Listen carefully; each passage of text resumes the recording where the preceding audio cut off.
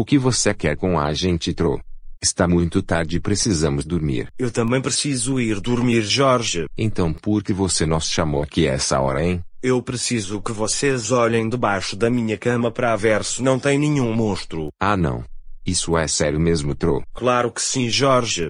Eu não vou conseguir dormir enquanto eu não souber se tenho um monstro debaixo da minha cama ou não. Minha nossa Troll, você cada dia me surpreende mais, mas não de um jeito positivo. Querem parar de enrolação e fazerem logo o que eu pedi? Está bem, Troll. Eu vou dar uma olhada debaixo da sua cama. Espere, Jorge. E se tiver mesmo um monstro debaixo da cama do troll? Ah não. Você não está falando sério, né, Jane? Claro que eu estou, Jorge. Eu não quero que o monstro o devore e eu fique viúva. A Jane até que tem razão, Jorge. Você deveria tomar mesmo cuidado. Quer saber de uma coisa?